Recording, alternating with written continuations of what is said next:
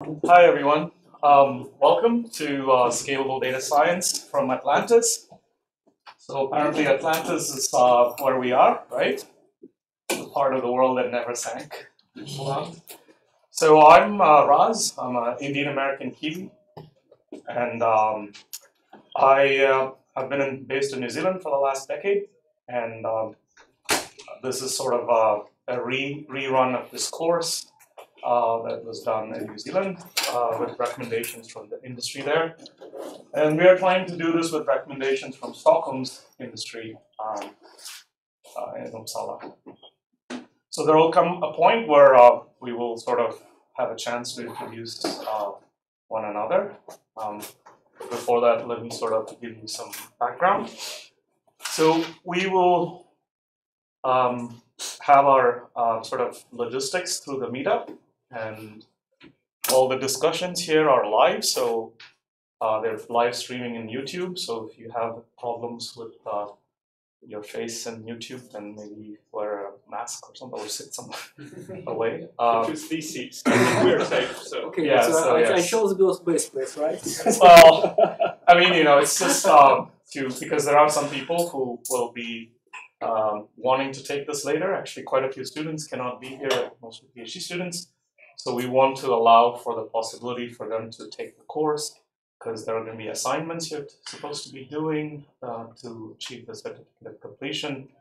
And uh, every lecture will be very important to the course project you will be presenting uh, and doing at the end of the course, which will be uh, the second course, which will be the second week of January 2018. Okay. Uh, so this way we can kind of field people that cannot be here. There are a couple people from industry who will do this late at night, things like that. Is that okay? All right. So uh, all the meetings are going to be in this room except two of them. One is going to be in the um, um, room, which is downstairs, and another meeting will be in the ITC in Pollock Park. And the meetup has been updated for the, those two uh, different venues. So default is just meeting here.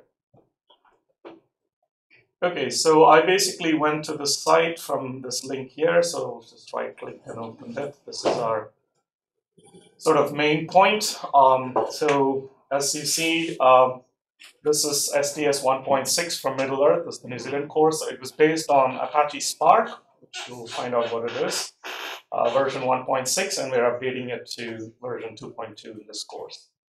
And I kind of want to do it dynamically, uh, sort of jazz this up. So depending on what your goals are, what your backgrounds are, so that uh, I will make the material as it happens. Okay, so. Um, so anyway, so if you go to this, um, this is our main site, SDS 2.2. And um, for the Uppsala registered students who are supposed to be here, uh, there are two parts, introduction of data science and fundamentals of data science. Okay, uh, each one is a 3 HP, um, and it's made up of uh, two meetings per week, and each meeting is like an hour and a half-ish. And the lab and lectures, as you will see, are completely fused, uh, essentially. Okay, so hopefully after the break today, we will get all of you guys um, on your laptops on the right place. So the lecture is the lab, and the lab is the lecture. So you'll be able to do things as I'm doing things.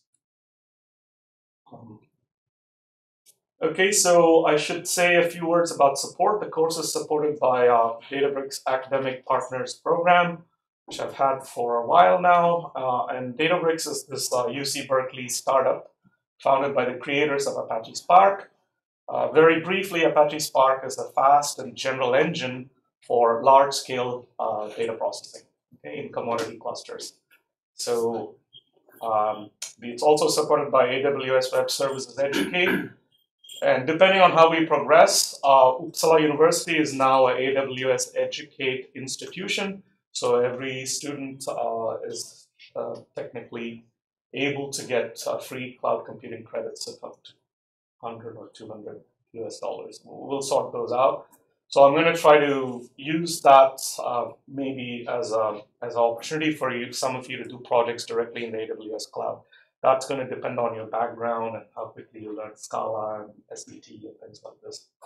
but uh, every project doesn't have to be at that level. There can be interesting projects easily done on the sort of simpler uh, environment we will use for most of the course, which is this Databricks Community Edition, and we'll get into that later today.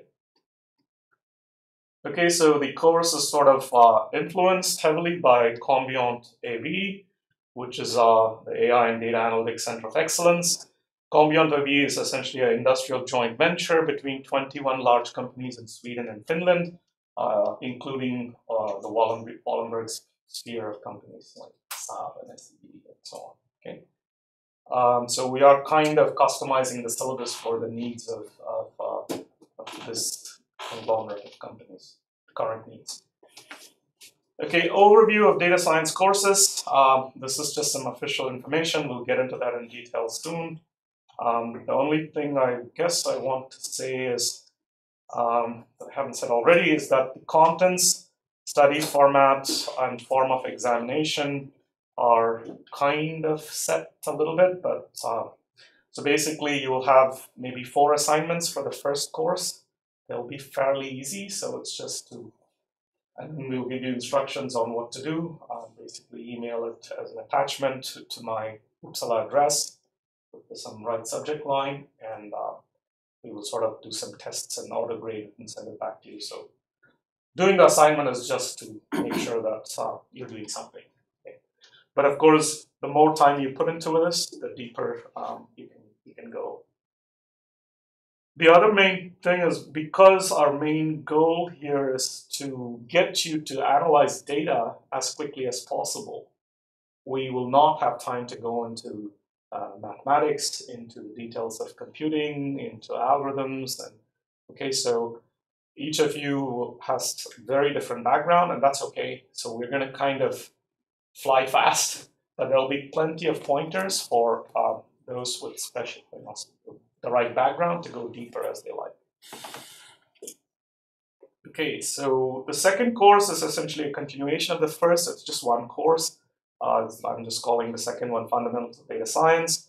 And here the main difference is we will go a little bit deeper, I'll do more interesting things, perhaps. But uh, the main emphasis here is not assignments, but a course project. And the course project should be something you're very proud of in the end. Um, you know, you can show your potential employers, hopefully.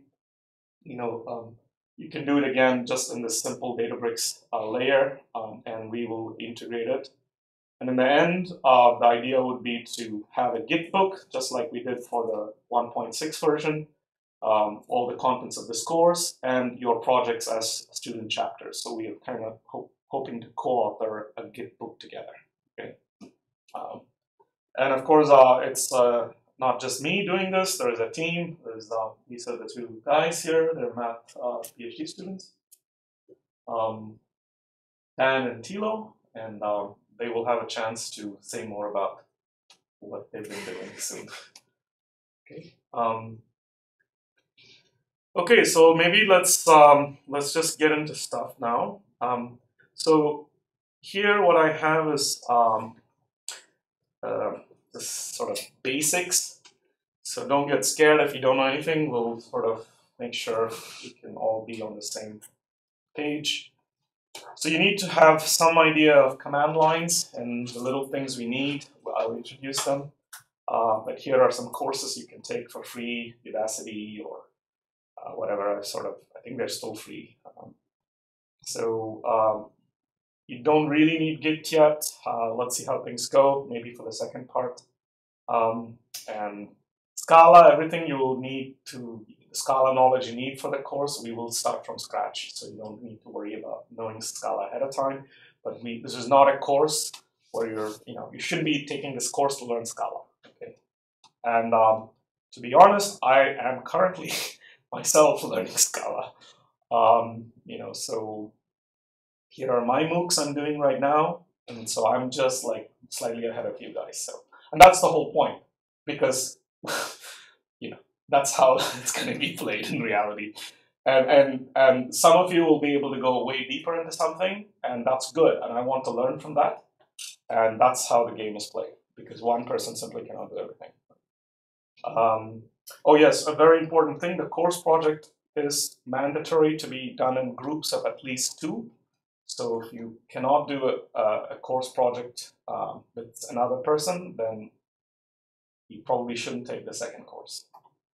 Uh, okay, um, so unless you're like some pure math student or some hardcore committer or something, and you want to do something hardcore on your own, then we have we will have a talk. But uh, generally, it's assumed because I want you to be able to demonstrate your ability to work with someone else.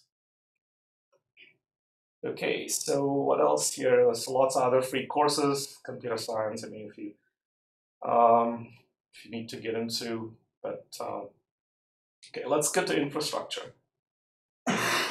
so here's um, some basic requirements for it. Uh, I'm going to do the absolute vanilla version, which is uh, the Databricks managed cluster in the cloud. So the cloud is just some big data center somewhere else.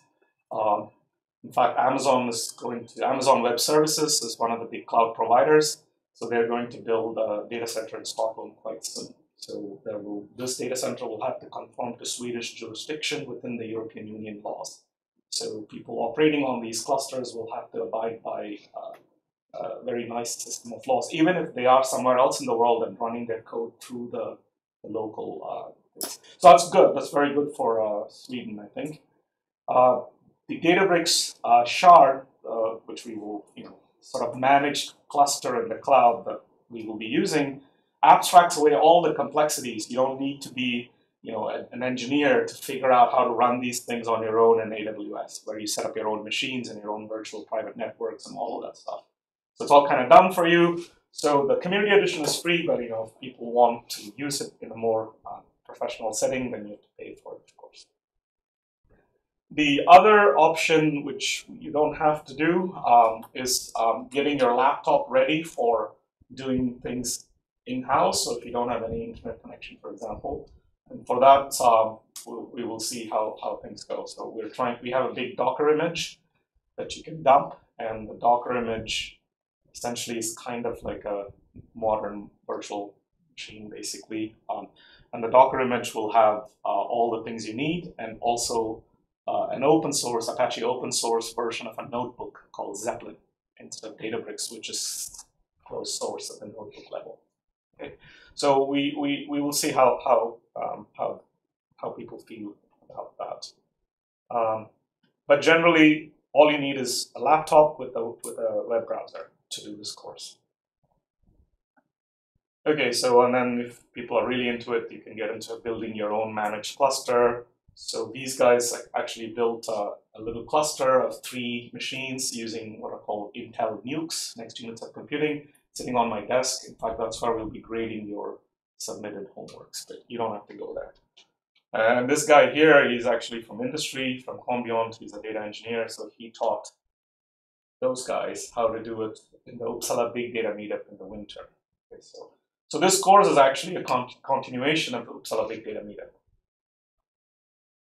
Okay, so what else? Local computer. So this is basically cloud full, um, you know, just using cloud.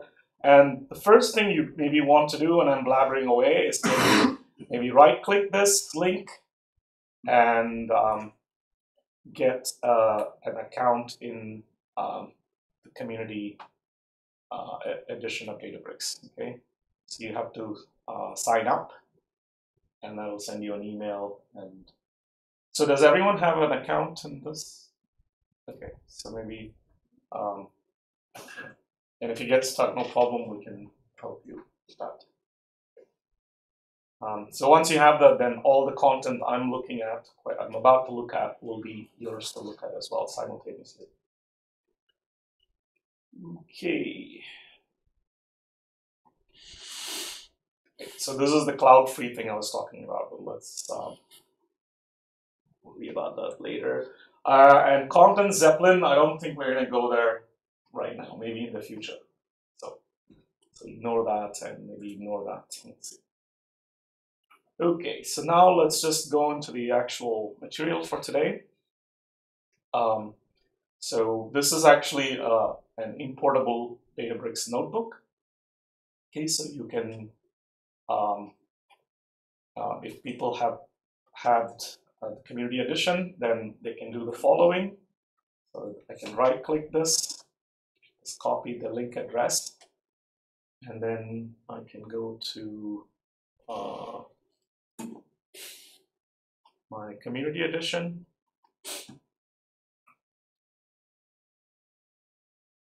So I already have an account. I, I still have my map.canterbury, South Island of New Zealand. I guess you guys have seen Lord of the Rings. Okay. That's my island. so anyway, um, this is or, or a continent. Yeah, well, yes. um, so, yeah, maybe it's worthwhile waiting for everyone to be here. Then we can just start screening. So, Should, should we should we go try to follow try to log in or something? Uh, if you want, I mean, you don't have to, but so, well, I, I don't have account at uh, yeah. So, so not for the next two notebooks. It's just mostly me blabbering. But the third notebook, we'll start doing a lab right away on learning Scala, and so we can do that over the break as well. So. Um, Just just let us know when we should. But some of some of you have the stuff already, some accounts. I'll quickly show you what you need to do. You just go here uh, or go to your home, and then you just basically say uh, uh, import. You know, you click this triangle here, say import, and then from URL, and then I just you know paste that URL I just copied from. So then it sort of will become yours. Um, okay, and so for the next two notebooks, 000 and 001, it doesn't matter, but for 002, I believe I, you, need to start coding. Oh, you, you can't start coding. That's after the break, so yeah. Yeah, that's Oh, right. It's after the breaks, right? But only a couple people don't have the account, so I thought we'd just do that. Okay, so let me um,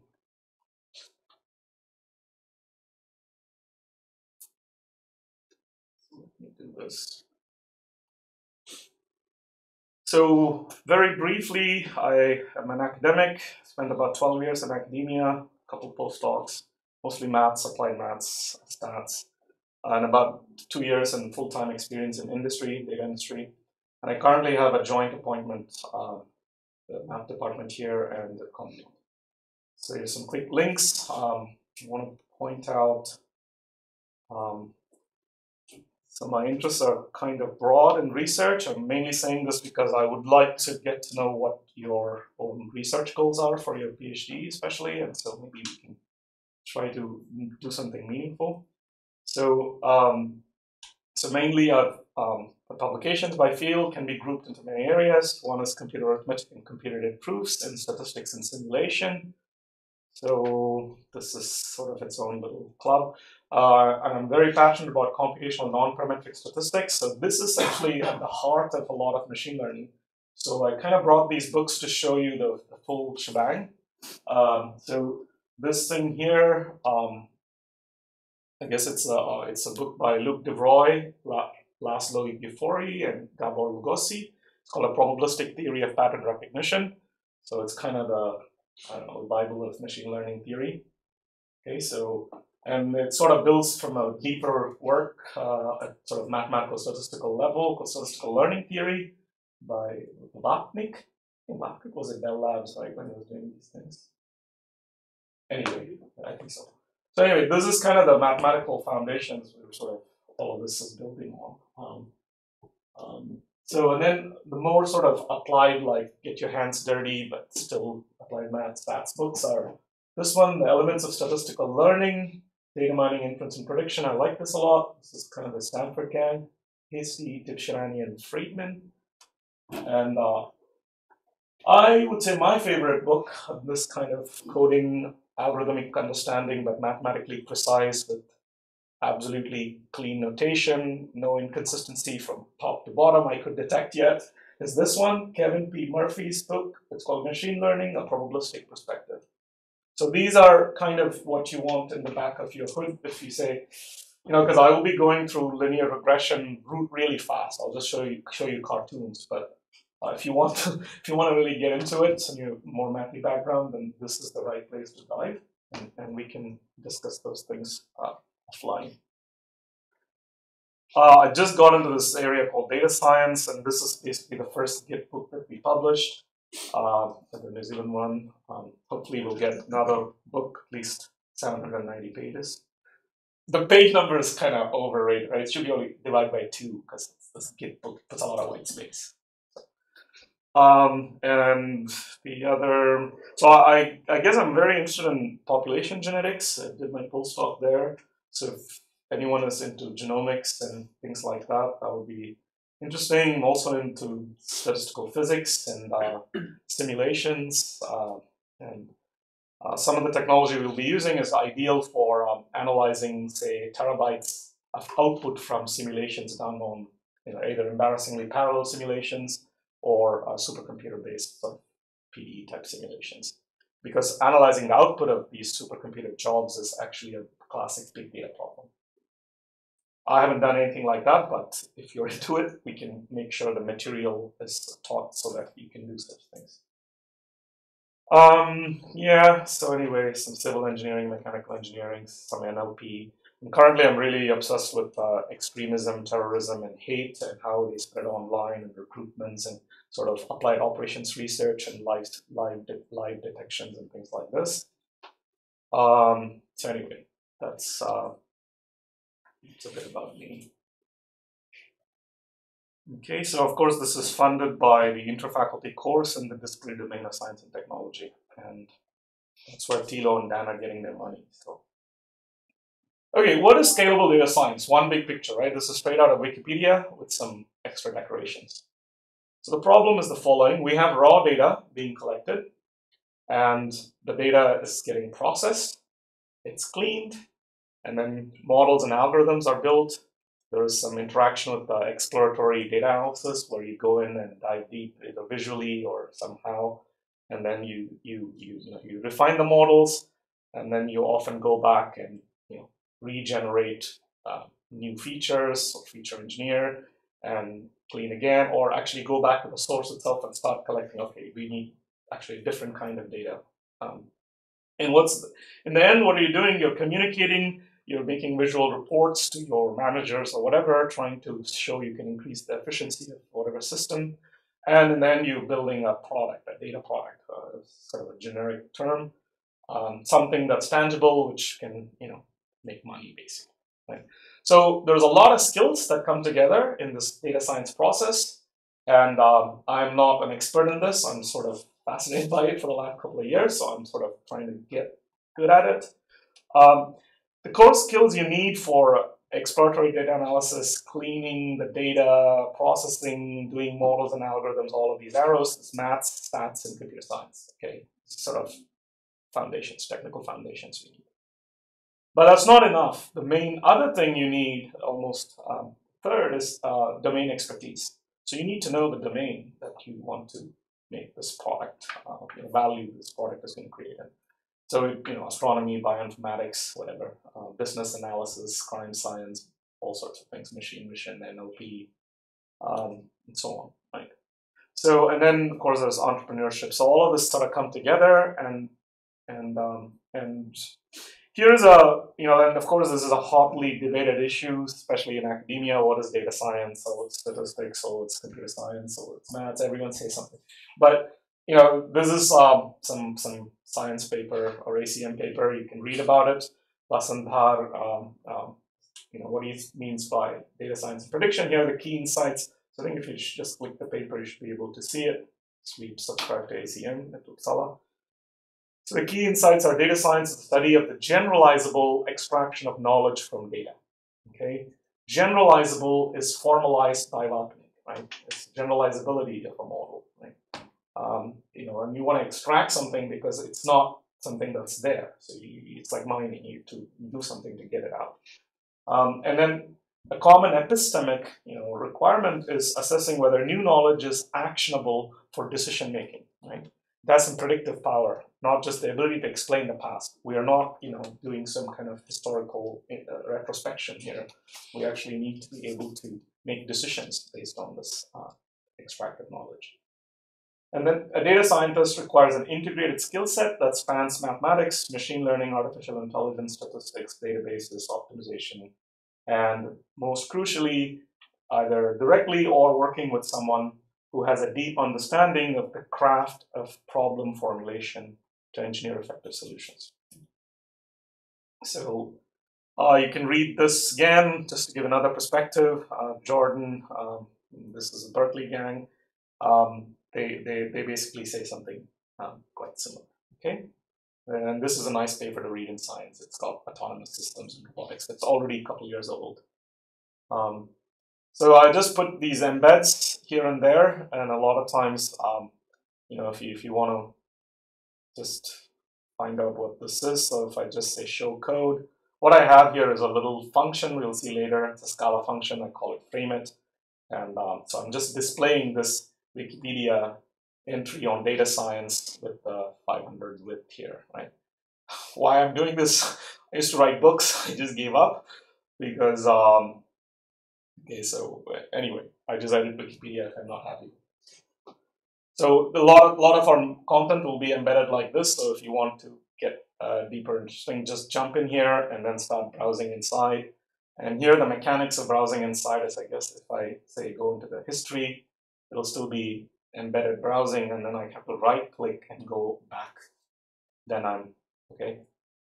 Is Or you just access the Wikipedia page yourself. yeah, you can, but I, I like to keep my things. this is too much to remember, right? But it's yes, you can right click and open Wikipedia in private browser or whatever you want. All good. Okay, so you know, read more about it, and you know, if you disagree, you can change what you think, and community of people who disagree with you before they make it public and all this. Okay, we're standing on shoulders of giants, right? So what do I mean by that? I myself got into this field by taking these two courses, uh, Berkeley edX series, CS 100 minus 1x and CS 190 minus 1x. They're called Introduction to Big Data Using Apache Spark by Anthony A. Joseph or AJ, who's a transverse professor at Berkeley, and Scalable Machine Learning by Ameet Talwalkar, who's assistant professor at UC Los Angeles. So I was doing this while I was uh, in the industry for a year. And without these courses, I simply couldn't have, um, you know, been promoted to principal data scientist and start actually doing things. You need to code, and it's not just me, right? Andrew Ng, this famous guy, right, Coursera founder, um, he's back. Uh, he's back to California now. Uh, he he says this, and in fact, he was working in Baidu for a while, and he says you need to work hard and clean the data at least one one day or whatever. He gives you so many hours to do the really dirty work. Otherwise, your mathematical insights don't even flow. Most people. Okay, so um, we are remixing heavily on those two courses, and those two courses are already available for free in Databricks.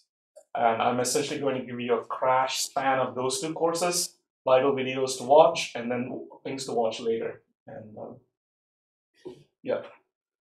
So we have 20 minutes until break. So um, this course is really good by Reza Zadeh. So let's see if I, yeah, so distributed algorithms and optimization. Um, it's a much deeper course. It's a good PhD course in the math department or um, medical engineering department, whatever.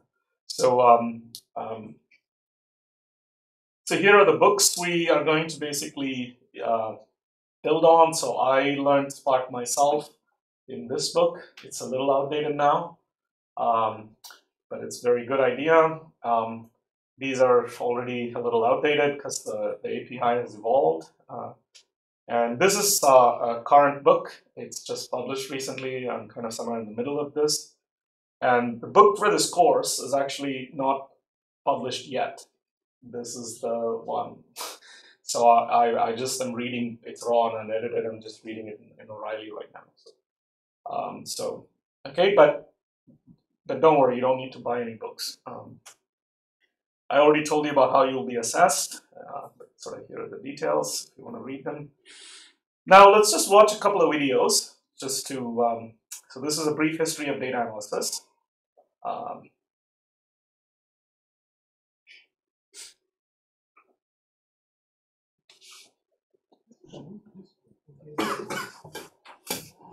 He's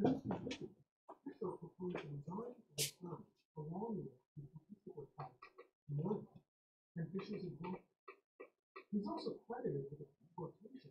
You can see some on on your computer as well. Isn't it wrong? Into derided studies that showed any link between smoking and cancer. Sorry. This is a brief history of data analysis. In the 1930s, Fisher proposed the design of experiments along with the statistical test ANOVA and Fisher's exact test. He also credited with a quotation correlation does not imply causation. This is ironic given that Fisher was a lifelong pipe smoker and derided studies that showed any link between smoking and cancer.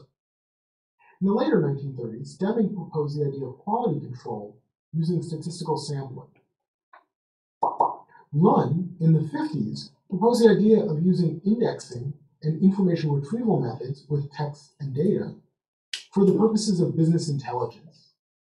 And Tukey, in 1977, wrote the book Exploratory Data Analysis. This led to the development of the S and S plus languages, along with a language you've perhaps heard of, R. Dresner is a modern business intelligence proponent. And in 1997, Mitchell wrote a machine learning book that is still a bestseller today. In 1996, two Stanford PhD graduate students wrote a prototype search engine, which ultimately led to Google. And Microsoft, in 2007, released a data driven science ebook titled The Fourth Paradigm.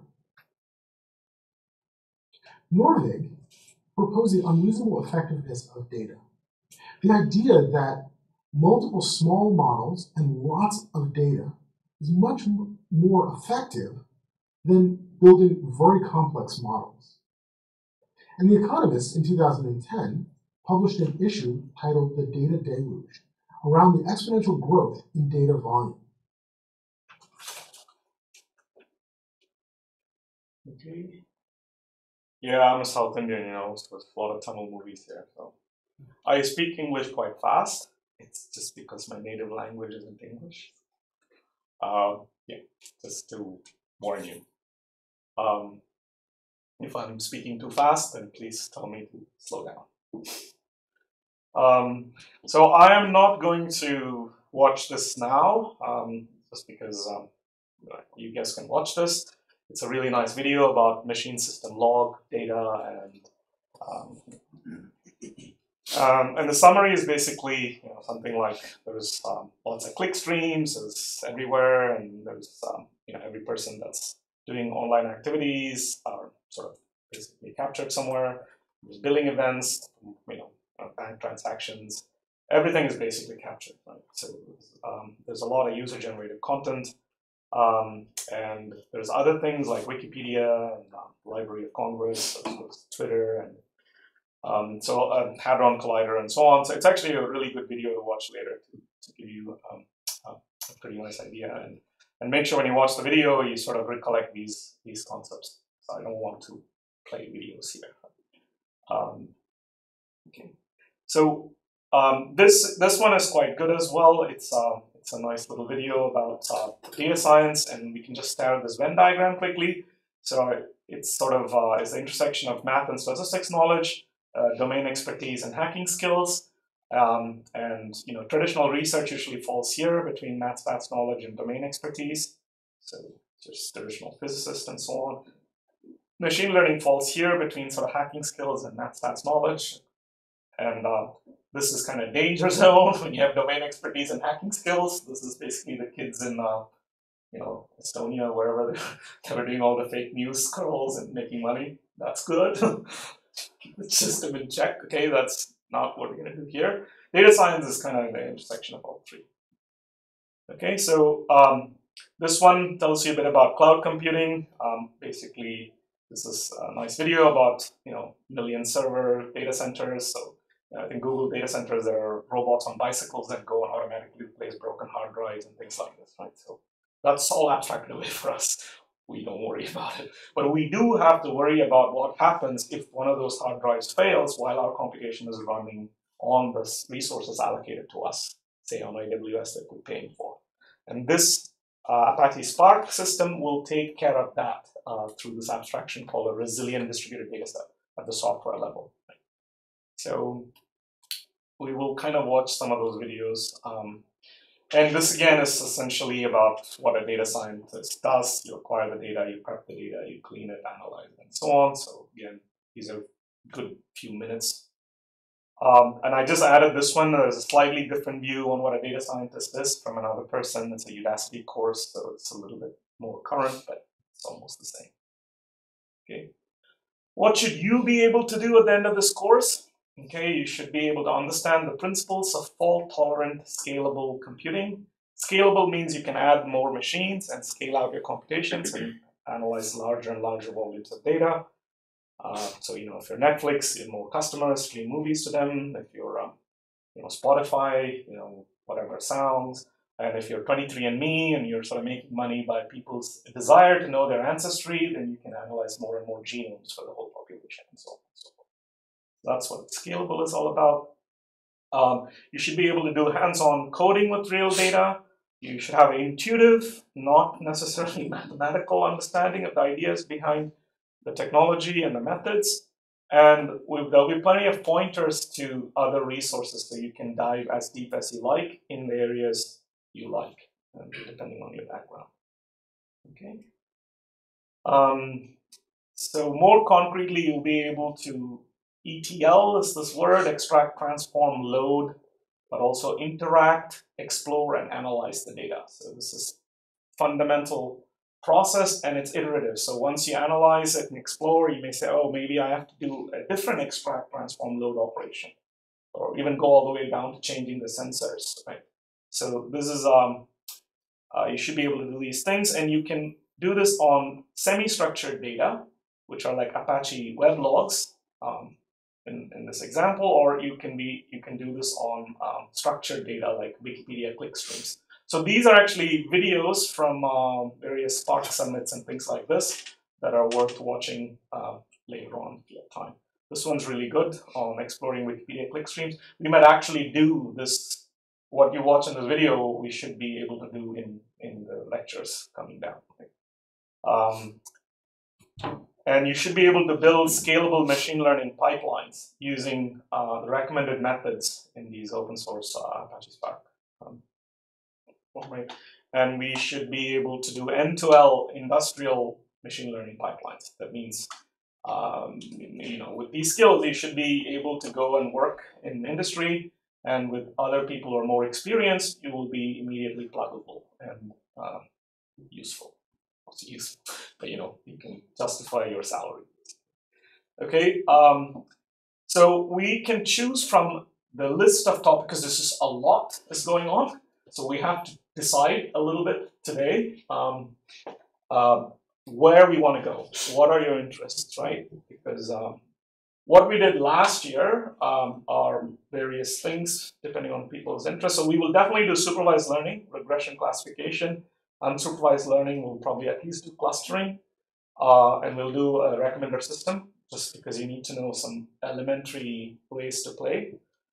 Um, from that point on, we could go into streaming, structured streaming, which is when data is coming at you continuously. You want to actually start um, building a model and detecting um, something in the real world based on the model we built. And in fact, uh, I was late this morning when Tilo and Dan were here because I, I was watching this uh, latest uh, video from Spark Summit, um, 2017, I think. So this is uh, Matei Zaharia, who's now back at Stanford. He's the CEO of Data, uh, CTO of Databricks, Chief Technical Officer. This one's quite cute because um, they're doing sort of two little things. One is deep learning, and so they're using, um, um, you know, if you know what these swear words mean, uh, which is called transfer learning. So basically, Google builds these big image models, and you can somehow learn from what Google's algorithms learned without doing all the hard work yourself. And in this video, it's quite fun to watch.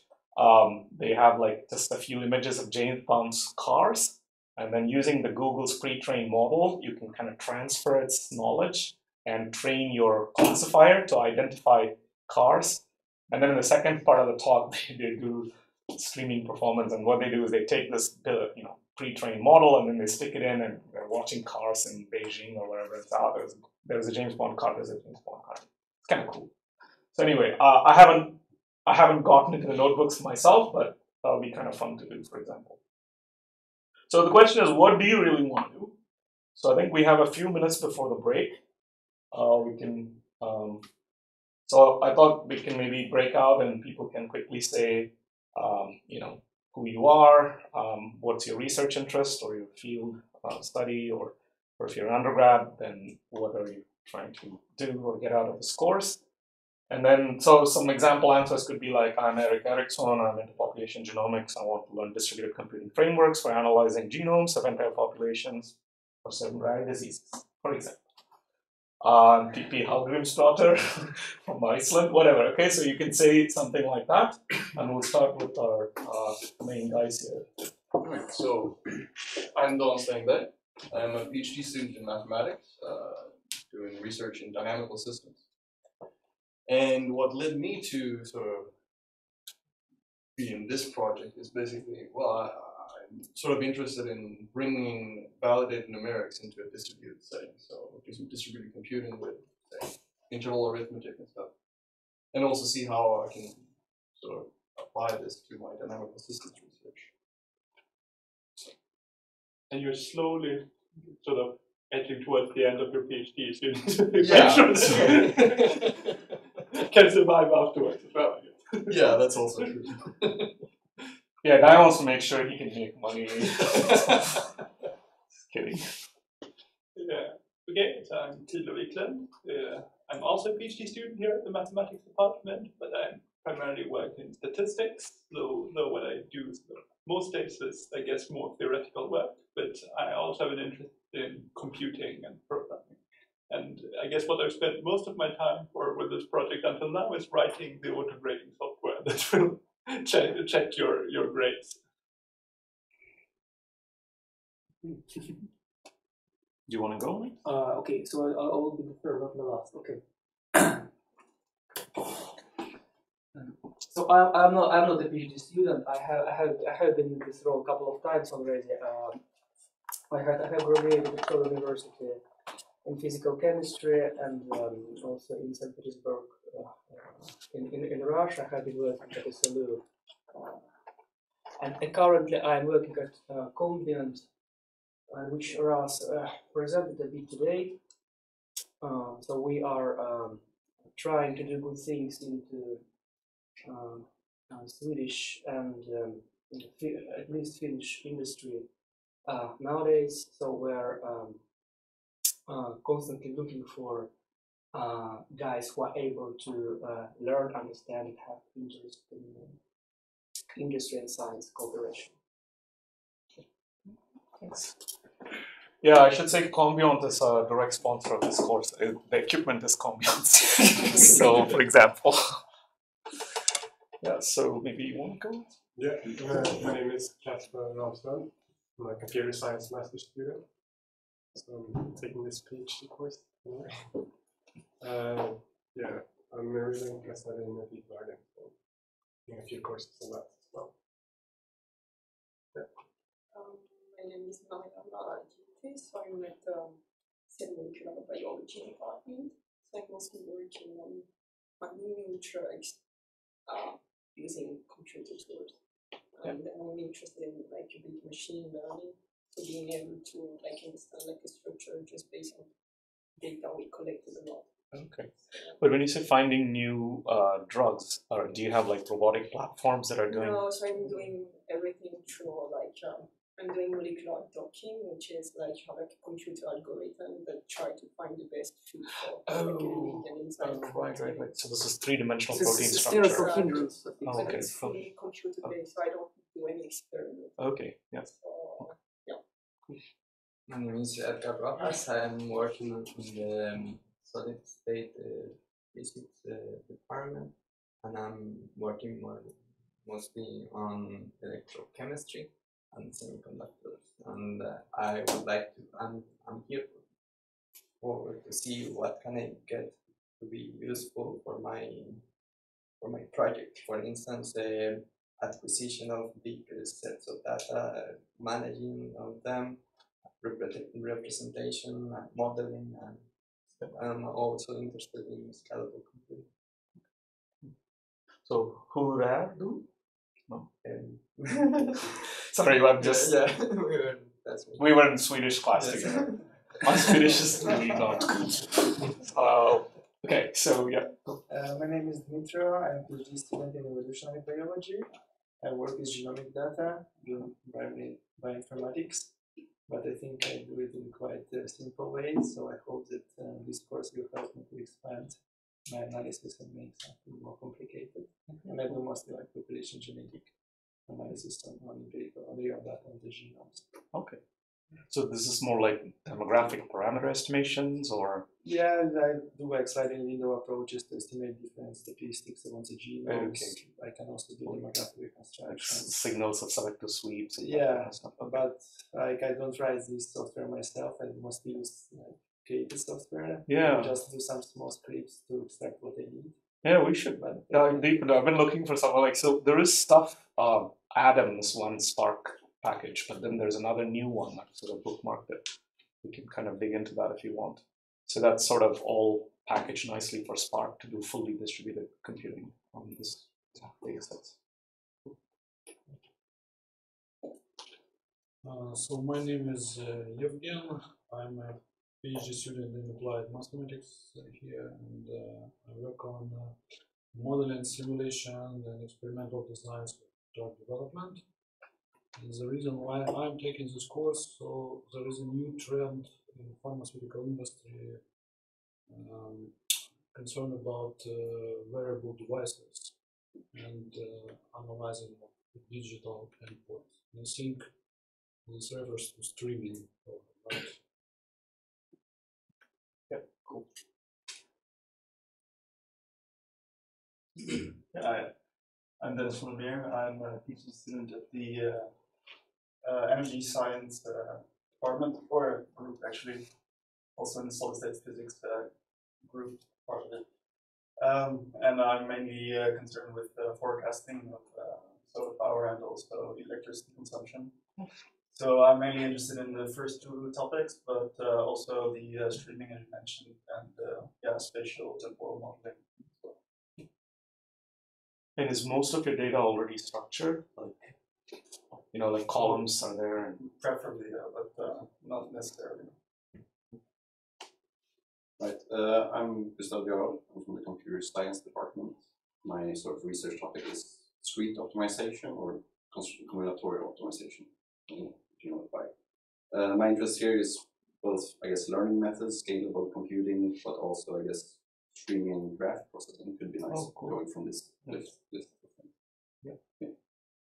so how do you envision maybe using streaming graph graph processing? So st- streaming just um, you can have.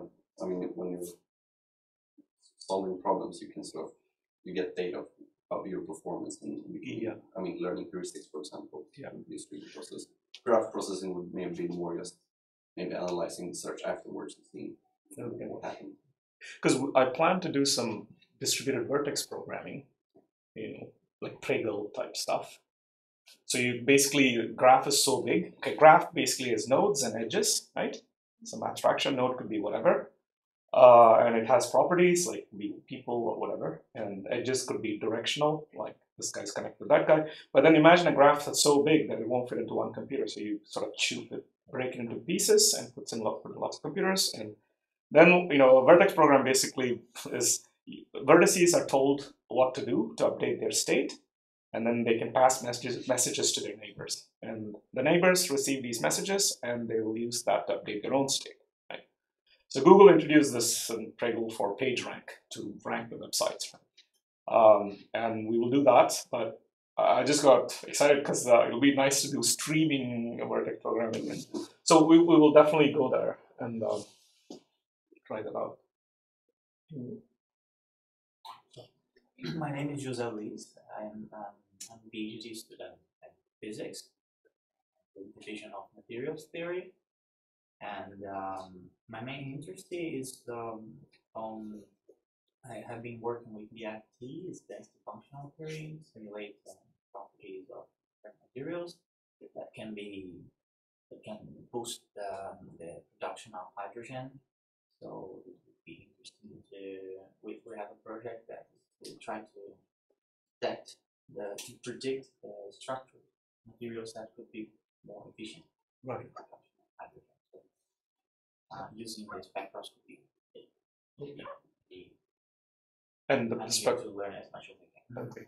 And the spectroscopy data itself is in the order of gigabytes, terabytes, or Yeah. Mm, yeah, yeah, yeah. it can, yeah, so it cannot fit in one machine easily. Okay. We use it like uh, clusters, performance computing. Okay. Yeah. Oh, but you're doing high, high, performance computing to do your simulations as well. Yeah. right? But then when you dump the output of those simulations, then yeah, I'll actually yeah, I'll, I'll give you an article later. So that's another natural use for big data because in um, the ACM um, article last year, there was this really beautiful article about how these two computing communities in Association for Computing Machinery, the computer science world, uh, kind of diverged. One is this big data people who distributed computing with commodity clusters, cheap hardware, and then the sort of high performance supercomputing guys. And probably for departmental budget reasons, kind of diverged. And so this article was all about how a lot of magic will happen when they come together, and and and there's kind of marriage made in heaven. They really need each other. So yeah. My name is Juan. I'm a student in bioinformatics, master's student, and I also have a master's in financial mathematics. And I'm here mostly for uh, curiosity Yeah. and all the applications that this course can give in bioinformatics. Cool. Uh, my recommendation of a friend Combient actually. Oh, okay, that's good. So you you're the guy who also started a company, right? You emailed me or something. Well, I think it was, Oh, that's. um, Oh no, I knew you, but I thought it was someone else too. Okay. No. Okay. Hi, my name is Lily, and I'm a master's student in engineering physics. Uh, and my main interest here is uh, within deep learning and neural networks and uh, applicable image analysis. Okay. Cool. And is are you interested in image analysis, deep learning as well? Yeah. Okay, so maybe you guys, if you get along, maybe you work, you could possibly work together. And you know what I would like personally, for example, is I, I don't want you guys to think like I'm your instructor, whatever that means. I'm not going to instruct you. Right? I am going to do some instruction, so we're all on the same page. But deep learning for me, I have actually not been able to finish this Udacity course I was doing last winter. I watched lots of YouTube and it's lazy. But uh, I did do a couple of modules and I know the theory. Um, so I would like to actually learn more about deep learning from the projects you're doing, for example?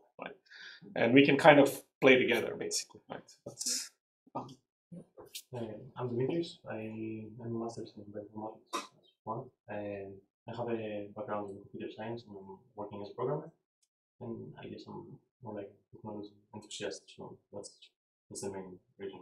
Um, cool. Um, uh, I'm Eva. I'm doing a PhD at uh, the IT department in image analysis. And I also recently started working with deep learning and so on. Okay. So deep learning is like big fad now in computer science, right? Like it's just good. Okay. Okay, so maybe we should take a break. I'm sorry we're like five minutes over the usual break time, is it? Yeah, okay. five minutes. So, 15 minute break. Yeah, yeah, well, yeah. Do you guys want to take a 15 minute break? Oh yes, we want to take a coffee. Yeah. Okay. That's so, roughly what you need to be sure to get a coffee. So. Yeah. So shall should we shut down the thing now? Yeah, yeah, let's do that. We'll post a new link. Huh?